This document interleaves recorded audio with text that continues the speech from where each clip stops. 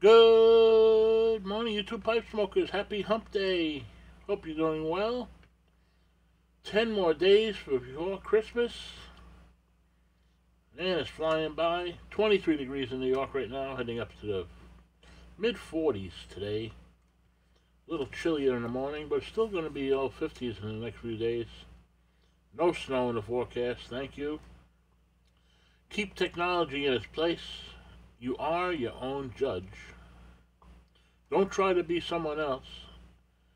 Be a hundred percent and consider making some changes.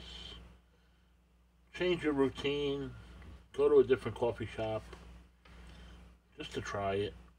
Get a new surroundings. Try to make little changes and see if it changes your attitude and your daily grind. Walk a different way, drive a different way.